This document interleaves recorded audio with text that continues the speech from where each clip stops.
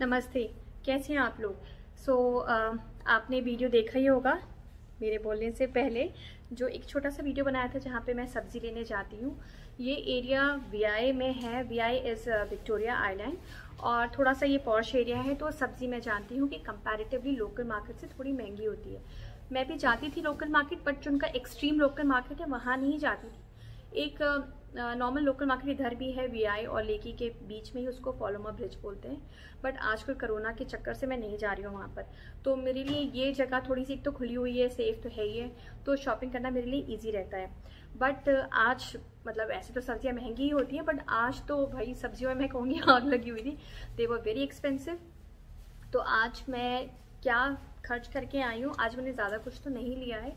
तो मैंने आज टोटल खर्च किए हैं सात हज़ार naira that is seven thousand और जो इंडियन करेंसी में है one thousand one hundred twenty है दैट इज़ ग्यारह सौ बीस रुपये तो इन सब में मैं क्या लेकर आई हूँ? मैं कि इसमें मैंने टोमेटो लिया है, इन ग्यारह सौ बीस रुपये में, अगर मैं बोलूँ तो मैंने क्या लिया?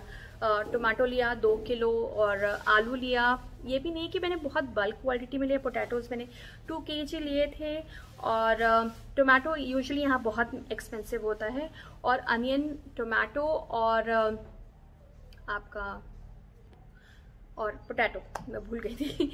तो ये एक्चुअली बहुत एक्सपेंसिव हो गया है अब, क्योंकि पोटैटो पोटैटो ही वो बोल रहा था कि 500 पर केजी नायरा के हिसाब से। और यूजुअली क्या होता है कि अफ्रीका में लोग ना केजी से नहीं बाय करते। हैं यहाँ पे जो लोकल है वो बकेट वाइज बाय करते हैं। एक उनकी बकेट है। जैसे आपने वीडियो में देखा होगा, उन्होंने ऐसे रखा हुआ है ना, सामान, वो डोलची जैसी चीज़ों में बास्केट में, उसको ये बास्केट बोलते हैं। तो जितनी बड़ी बास्केट तो लोग बल्क उठाते हैं। उनका तो प्राइस डेफिनेटली मुझे बल्क नहीं उठाना है था तो मुझे तो के से लेना था, इसलिए मुझे थोड़ा सा और एक्सपेंसिव पड़ा।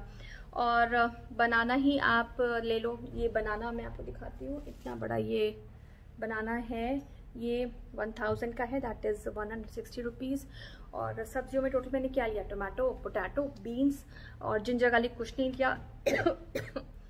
बस, और कुछ कैप्सिकम तो मुझे ऐसा लगा कि नेक्स्ट टाइम जब मैं सब्ज़ी लेने जाऊँगी तो मैं एलो पिजो ही जाऊँगी, क्योंकि लास्ट टाइम भी मैं एलो पिजो से लेके आई हूँ और जिस एरिया से मैंने लिया है, वो एरिया बोलते भी हैं कि एलो पिजो का थोड़ा एक्सपेंसिव एरिया है वो बट फिर भी वहाँ इतनी महँगी नहीं थी, जहाँ पे इस बार इतनी ज़्यादा महँगी हो गई है।